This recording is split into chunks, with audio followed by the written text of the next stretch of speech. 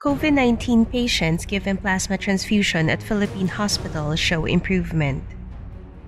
Doctors at a Philippine hospital said on April 16 that their COVID 19 patients treated with convalescent plasma therapy have been showing improvement.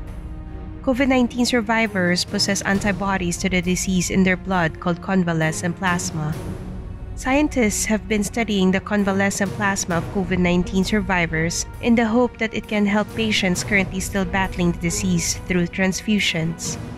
St. Luke's Medical Center pulmonologist Dr. May Campomanes said that patients who have undergone convalescent plasma therapy in the hospital have improved throughout their confinement. These improvements can be seen in their biochemical parameters or inflammatory markers as well as oxygenation status. Patients also reported feeling unease and symptoms such as lowered fever. She said that critically ill patients in China who were treated with convalescent plasma therapy, along with other medical treatments, showed improvement, with CT scan or radiographic exams improving within a week. However, Dr. Campomanes warns that it is still too soon to say what the results are, and hospitals may have to wait a while until convalescent plasma therapy is guaranteed to be effective against COVID 19. According to ABS-CBN News, St. Luke's Medical Center hematologist Dr. Francisco Lopez has said that the hospital has given eight plasma transfusions overall. The center, along with the Philippine General Hospital, previously asked survivors of the disease to donate blood for the treatment. St. Luke's Medical Center began work on the treatment on April 11. The Guardian reports that antibodies can be found in survivors' blood for up to around three months.